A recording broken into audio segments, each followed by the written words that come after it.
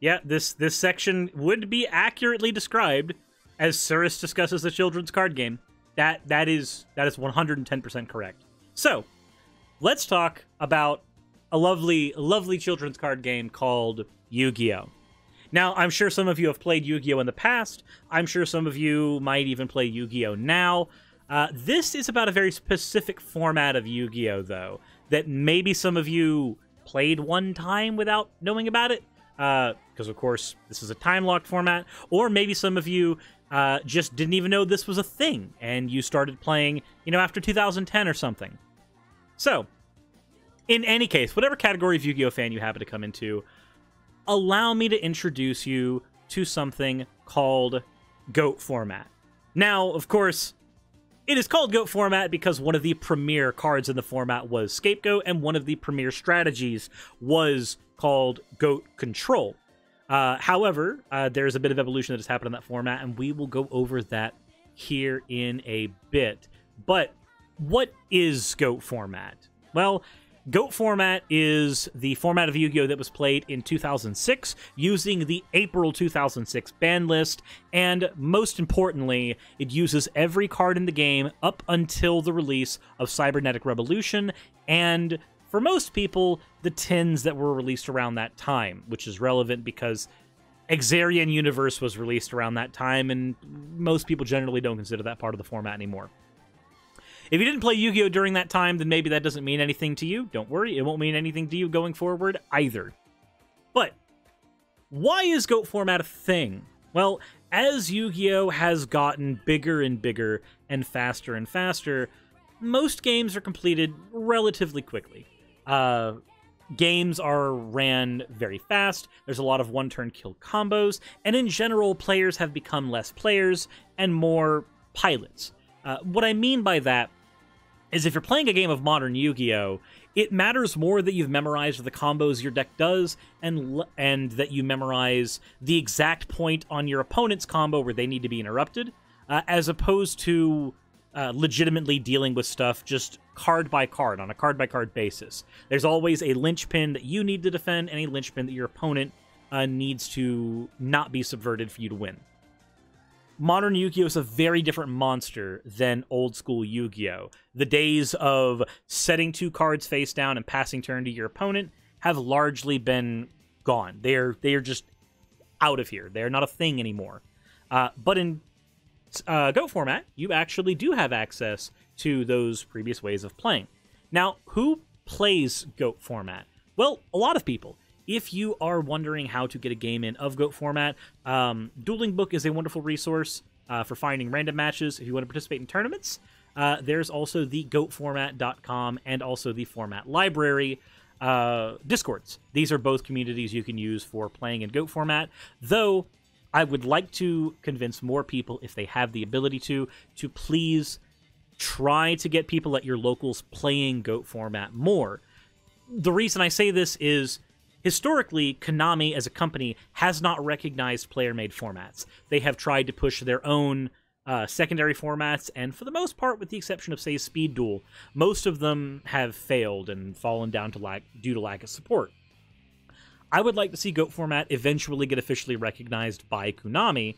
Uh, it would be it would be cool because that's a thing that Wizards of the Coast at least did with things like Commander format.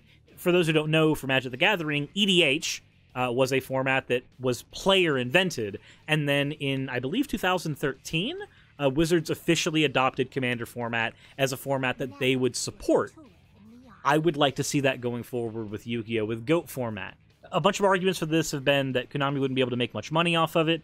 Uh, to that, I argue that even if they can't make money selling the product, they can make money by making reprint sets, and they can make money off GOAT format by hosting tournaments at venues uh, for it as well. And publicity for GOAT format also becomes publicity for their premier regular format.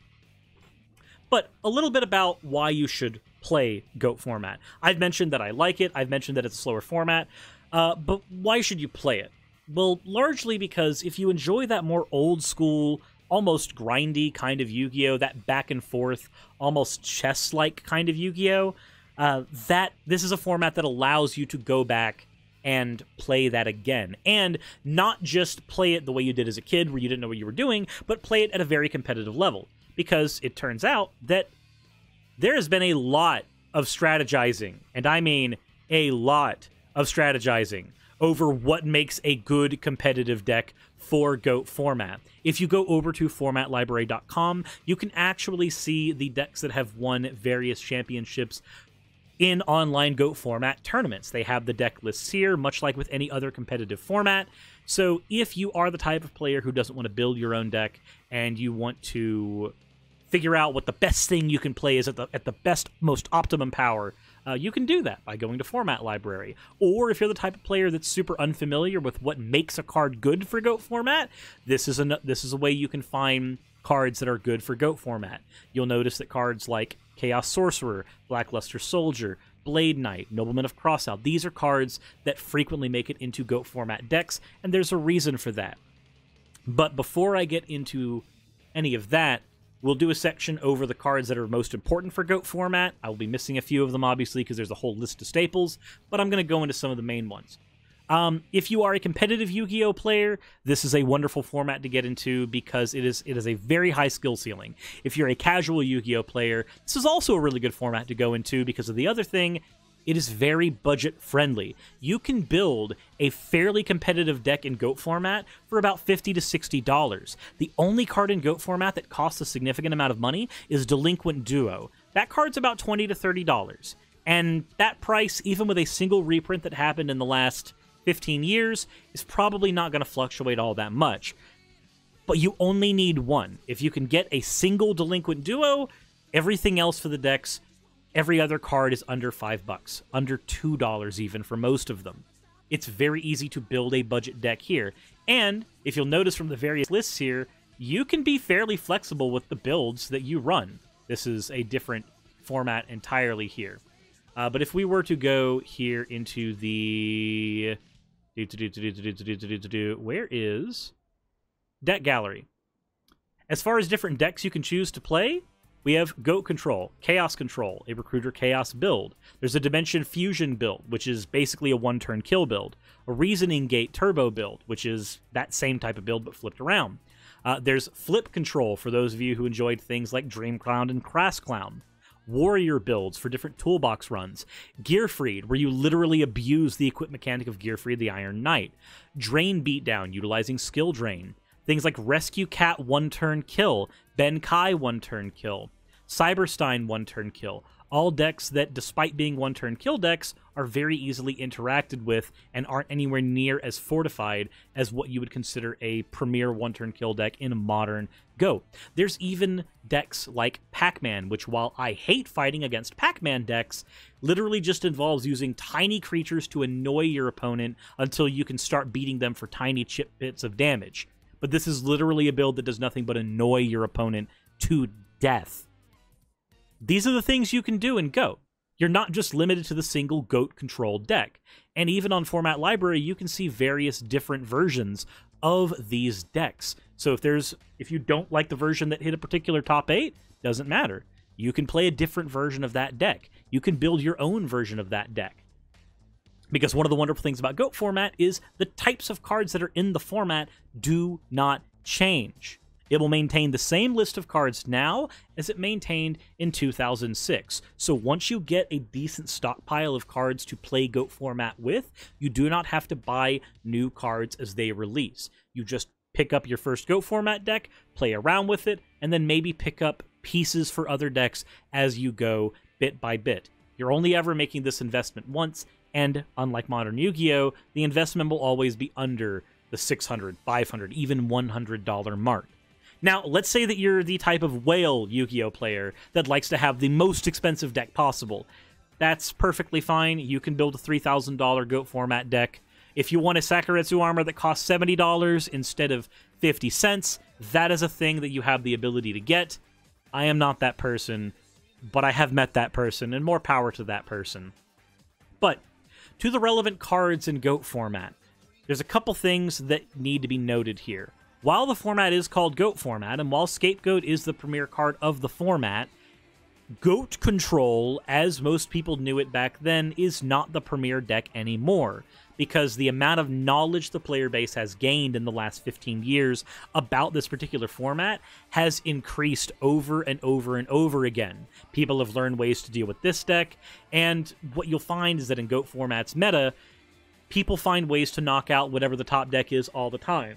Because the cards don't change, a best deck never really gets established because everybody knows the cards needed to counter whatever the best deck is. There will always be a way to subvert it.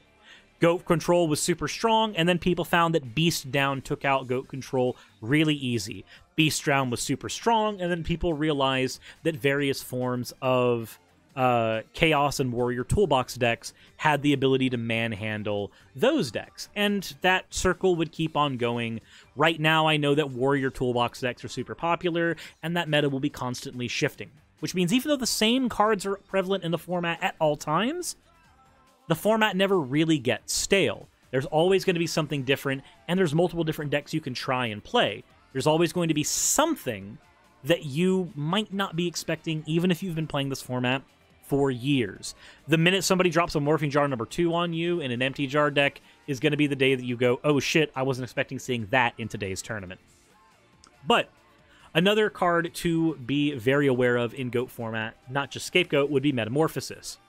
This is the reason Scapegoat was a premier card for so long. Scapegoat creates four zero attack, zero defense tokens that have one star. This is the original intention of this card was to create a wall between you and your opponent of monsters your opponent had to hit through. Players are a lot more ingenious than what Konami generally accepts, though. So, despite these tokens being there mainly for defense, we found ways of abusing them using cards like Metamorphosis. Now, Metamorphosis sacrifices any card on your board, any monster on your board, to create a fusion monster, and it doesn't summon it via its correct summon conditions. That's important. But it creates a fusion monster, and that fusion monster uh, comes into play, and you can start using it right away. Normally, fusion monsters are bad in old school Yu-Gi-Oh! because the resources required to summon them are far too much. If I want to summon a Dark Blade, I need to have a Buster Blader in my hand, a Polymerization in my hand, and a Dark Magician in my hand, and that's three dead cards, and my opponent can just use Bottomless Trap Hole on the Dark Paladin when it comes out. So, not a really good investment. But playing a Scapegoat, which gives me tokens I was using to defend myself with anyway, and that is dropping a Metamorphosis on it, is great, especially when I can make up all of the advantage that I lost by playing multiple cards when the card I'm trying to summon is Thousand Eyes Restrict. This is our next incredibly important card for Go. Thousand Eyes Restrict has the ability to basically suck up a card on the opponent's board and pull it over to your board as an equipment to him. Uh, he also paralyzes the entire board. Monsters can't change their battle positions, and monsters don't get to attack except for himself.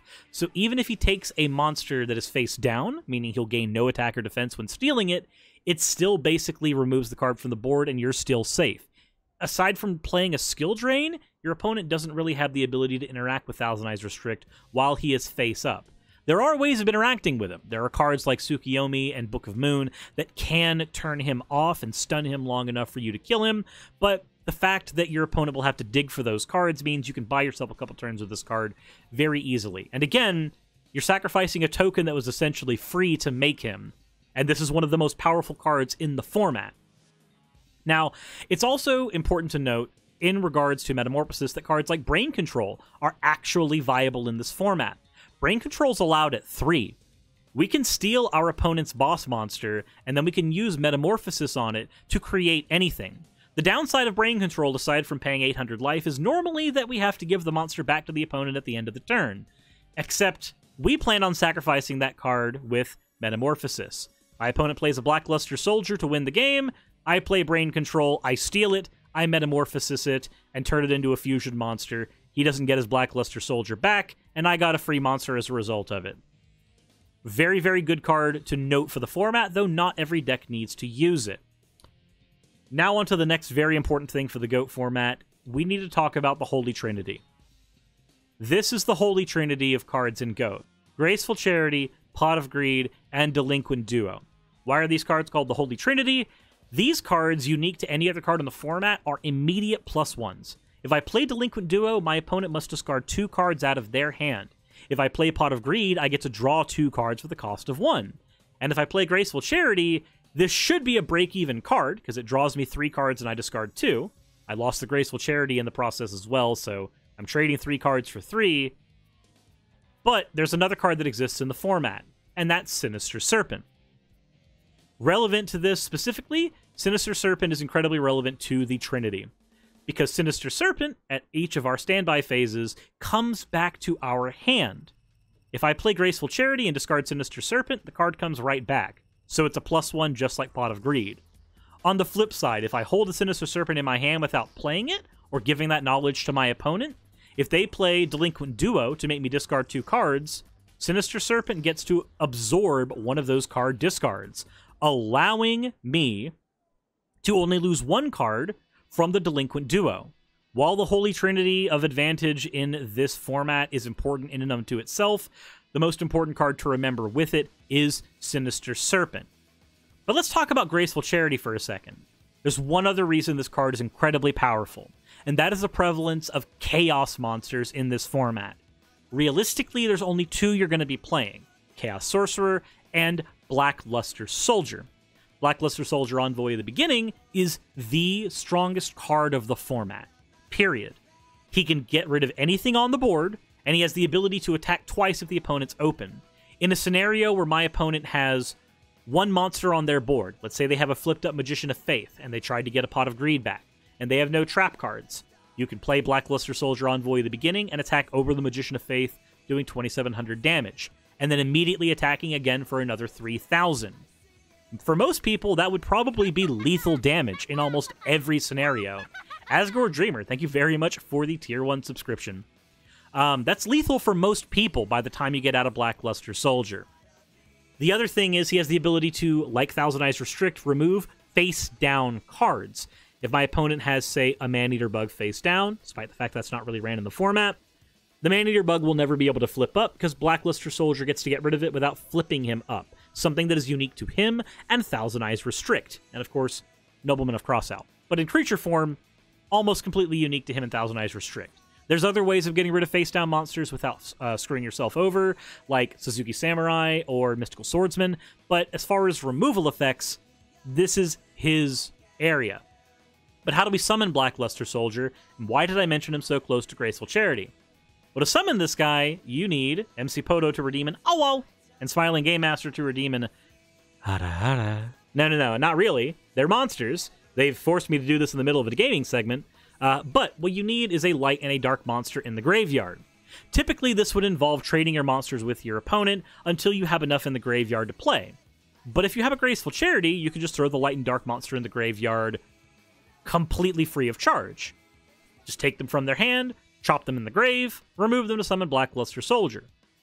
But there's another side of Black Luster Soldier we've got to talk about. Is this the most powerful card in the format? Yes. Does this card close out games by the time he hops onto the board? Yes. But let's say you didn't close out the game. Let's say you played the Black Luster Soldier and he didn't kill the opponent immediately. Um, they have there's many ways in which the opponent can defend themselves from a BLS. We're not going into them right now. I mentioned brain control earlier. In the event that your opponent plays Black Luster Soldier and does not kill you with it, brain control, or the card most people are going to have in their deck anyway, Snatch Steal, can take your Blackluster Soldier and start gaining all of that advantage for the opponent. Because there is one thing GOAT format does not have a lot of, and that is protection from spells. Yes, there's access to cards like Magic Drain and Magic Jammer, but if you'll notice on most GOAT format lists, neither of those cards really show up.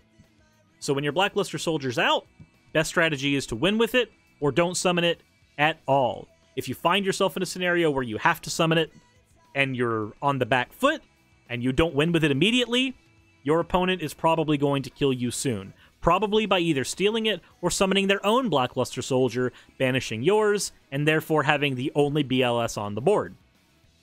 There's a couple more relevant cards to talk about, uh, and all of them can be summed in the words of searchable by Sangan. Sangan is an incredibly important card for the format, like everything else I've talked about so far, because he searches monsters with 1500 attack or less. Note we talked about Sinister Serpent when talking about the Holy Trinity. Sangan can search up Sinister Serpent, and he's usually the first search you want to get. This means you have protection from Delinquent Duo, and really, you're going to be able to get the search off real easy. He's only got a thousand attack. Your opponent will be able to kill him. Uh, there is one problem with Sangan, though, and that is that if he's banished, you will never be able to get his effect. Uh, I didn't pull up the card itself here, but there's a card in the format that's used a lot called Nobleman of Crossout. It banishes face down monsters. In the event that you set a Sangan face down, normally that's the right play to do with a monster you want to just get sent away, the opponent is probably going to Nobleman of Crossout it immediately because it could be a Sangan, or it could be a Magician of Faith. Most of the time, it is best to play Sangan face up because even though you will take a lot of extra damage by the Sangan getting hit, taking a thousand or even two thousand life points of damage is sometimes infinitely better than losing the ability to search up a Sinister Serpent or a DD Warrior Lady, or in the event of a Thousand Eyes Restrict coming on board, a Tsukiyomi. Most of these cards are going to be seen in every single deck, with the exception of Brain Control. Brain Control doesn't get seen in every one. Snatch Steal does, though, so everything I said about Brain Control still applies to Snatch Steal. And there are other cards we didn't talk about that I did mention, though. Cards like Tsukiyomi, cards like Nobleman of Crossout. There are also other cards in the format that, depending on the speed of that current format, get used. When GOAT format tends to slow down and favor more toolboxy decks, you tend to see cards like Premature Burial and Call of the Haunted played. But when GOAT format is faster and favors more aggro decks like other variants of warrior decks and also things like beast down or even uh, even beat down control Typically, cards like Call of the Haunted and Premature Burial will be taken out of decks in favor of more copies of cards like Dust Tornado and Sakuretsu Armor.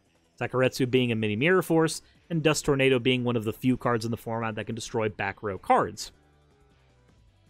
But, more than anything, more than anything, why should you play this format now that we've gone over bits and bits and bits about it? Well, honestly, it's fucking fun if you enjoyed Yu-Gi-Oh as a kid and you enjoyed the idea of the way Yu-Gi-Oh played in say the Battle City format, then this is a format that gets you back to that old style of Yu-Gi-Oh where things are yes, more slow, but also a lot more chess-like. Your individual plays matter. Mistakes you made on turn 1 will punish you on turn 8 and you'll get to turn 8. That's another important thing. You'll be able to get that far in it. Games might feel grindy, but they don't feel like a grind. It feels like, again, sitting down to a game of chess, trading blows and trading a war of attrition with your opponent going forward. But because there's so much mechanical complexity to the way that GOAT format plays, it feels like you're playing a high level game of chess, not just trading your pawns with your opponent until you run out of pieces on the board. More than anything, though, this format is growing, and it's been growing over the last five, six, seven years, if not more. Typically, at your local card shop, you'll find one or two people who play GOAT format, off and on. They might have a spare deck around. What I want to encourage is more people sitting down and learning GOAT format and teaching other people how to play GOAT format. If you have somebody who's only ever played modern Yu Gi Oh! and they've never played that more old school getting down in the mud and wrestling with each other kind of Yu Gi Oh! This is a wonderful avenue into that. If you've got somebody who misses the old school form of Yu Gi Oh! but still plays, maybe even kind of begrudgingly, this is again a wonderful format to get them into. There are very few cons. The format doesn't rotate, so your investments don't go away. The format has a lot of players and it's constantly growing. You can play the format online if you don't have a local card shop around you. And the more people you get to play with it, GOAT format tournaments with multiple people with unique decks is one of the best experiences in the game that I've ever had, as somebody who's had the opportunity to run a handful of local GOAT format tournaments. For myself, my strategy to get more people playing GOAT in my area is going to be, be uh, to build a battle box where I find a couple of deck lists that I can build for under $50 and build a box of about eight decks over time. I know that's a lot of money. I'm not able to drop that all at once, but I plan on building a battle box of these decks so I can run tournaments like this at my local game store. And if people want to continue participating in the format and get their own decks, then they are more than able to. Because again, the cost is super low. You can build a GOAT format deck for the same price that it costs you to buy a new video game for a console, or even a new video game on Steam. It's a super budget friendly format, and I think a lot of people would enjoy it if they gave it a shot, if they haven't already. But that's enough yapping out of me. This is my favorite way of playing Yu Gi Oh! It is one of my favorite ways of playing card games, period. Despite the fact that my primary card game is Modern Magic the Gathering, this is my. Pr- in a perfect world, this is my favorite way of playing. And I wish I could do it more. So take GOAT format to any particular local game store that you can. Make sure you've got articles on format library and stuff ready, as they have full lists of every card legal for the format. And hopefully, some of you found this informative if you didn't know about the format already. As always, everyone, if you want to support the channel, you can do that. I'll have relevant links in the description. But most importantly, insert end of video tagline here.